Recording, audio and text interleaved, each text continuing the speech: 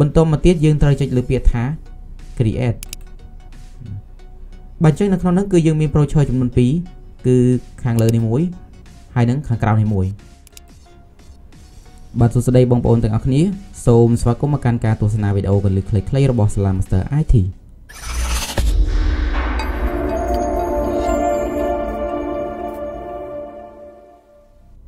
បានចឹងសម្រាប់ថ្ងៃនេះដែរគឺលោកគ្រូមានកលឹះថ្មីមួយតទៅទៅនឹងការជ្រើសរើសយក template ដែលមានស្រាប់នៅក្នុងកម្មវិធី Microsoft Publisher មកធ្វើការចែករំលែកទៅកាន់អ្នកទាំងអស់គ្នាបានចឹងជំហានដំបូងគឺយើងត្រូវចូលទៅកាន់កម្មវិធី Microsoft Publisher បន្តមកទៀតយើងត្រូវចុចលើពាក្យថា More Template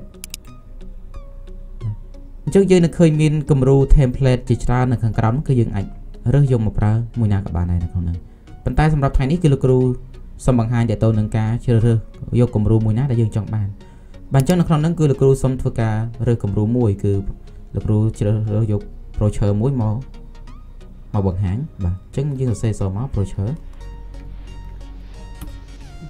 បាទអញ្ចឹងយើងនឹងឃើញមានគំរូ brochure នៅខាងក្រោមជាច្រើនដែលយើងអាចយកមកប្រើបានបាទឧទាហរណ៍ថាលោកគ្រូរើសយកគំរូ brochure មួយនេះអញ្ចឹងយើងคลิกមកឆ្វេងមួយមកបន្តមកទៀតយើងត្រូវចុចលើពាក្យថា create បើអញ្ចឹងនៅក្នុងហ្នឹងគឺយើងមាន brochure ចំនួន2គឺខាងលើនេះមួយហើយនឹងខាងក្រោមនេះមួយតើលោកអ្នកកំពុងចង់អភិវឌ្ឍសមត្ថភាពជំនាញឲ្យកាន់តែខ្លាំងមែនទេសិក្សានៅសាលា Master IT Master IT មានបណ្ដុះបណ្ដាលជំនាញកុំព្យូទ័ររដ្ឋបាលបោះពុម្ពគ្រប់គ្រងទិន្នន័យជំនាញ Design ជំនាញកាត់តនិងផលិតវីដេអូជំនាញគណនេយ្យជំនាញ IT និងវគ្គសិក្សាខ្លីៗជាច្រើនទៀតជាមួយវិធីសាស្ត្រសិក្សាអនឡាញដ៏មានប្រសិទ្ធភាពចំណាយតិចរៀនចេះបានច្រើន 1ថ្នាក់អនឡាញតាម Zoom 2ថ្នាក់សិក្សាតាមវីដេអូនៅលើ App Master IT មានគ្រូជំនាញជាជំនួយប្រឹក្សាចុះឈ្មោះចូលរៀនថ្ងៃនេះដើម្បីទទួលបាន promotion ពិសេសបាទអញ្ចឹងសម្រាប់ brochure ហ្នឹងគឺយើងអាចធ្វើការផ្លាស់ប្ដូរអក្សរផ្លាស់ប្ដូររូបភាពទៅតាមអ្វីដែលយើងចង់បានដូចគ្នាបាទប៉ុន្តែសម្រាប់ថ្ងៃនេះគឺលោកគ្រូគ្រាន់តែជ្រើសរើសយក template ដែលមានស្រាប់នោះមកបង្ហាញទេអញ្ចឹងក្នុងការជ្រើសរើសពណ៌គឺលោកគ្រូ ចាំបង្ហាញនៅក្នុងវីដេអូក្រោយទៀតបាទអញ្ចឹងមួយទៀតយើងក៏អាចជ្រើសរើសយក template ផ្សេងមួយទៀតមកធ្វើការប្រើប្រើប្រាស់បានដូចគ្នាដែលយើងគ្រាន់តែចូលបង្កាន់ file យើងយកពាក្យថា new មកហើយយើងមក search រកម្ដងទៀតបាទឧទាហរណ៍ថាត្រង់នេះលោកគ្រូយកពាក្យថា menu ម្ដង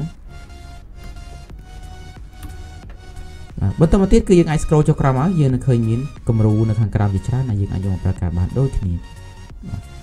បាទឧទាហរណ៍ថាលោកគ្រូយកគំរូផ្សេង បាទលោកគ្រូរើស ID កាតម្ដង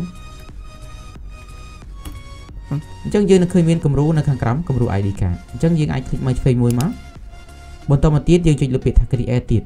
បាទបន្តមកទៀតគឺយើងនឹងឃើញមានគំរូ ID card នៅខាងក្រោមហ្នឹងបាទហើយនៅក្នុងនឹងដែរគឺយើងអាចធ្វើការផ្លាស់ប្ដូរពណ៌ដូចគ្នាដែរឧទាហរណ៍ថាយើងចង់ផ្លាស់ប្ដូរពណ៌អញ្ចឹងយើងអាចធ្វើការផ្លាស់ប្ដូរពណ៌ទៅលើ ID card នឹងបានដូចគ្នាបាទអញ្ចឹងបើសិនជាអ្នកនរគ្នាមានចំណាប់អារម្មណ៍ចង់ សិក្សាបន្ថែមទៅលើកម្មវិធី Microsoft Office កុំភ្លេចចុះឈ្មោះចូលរៀនជាមួយនឹង Salam Master IT ឥឡូវនេះដើម្បីទទួលបានការបញ្ចុះតម្លៃជាពិសេសជាចុងក្រោយអរគុណសម្រាប់ការចូលរួមទស្សនាវីដេអូនេះជួបគ្នានៅក្នុងវីដេអូក្រោយ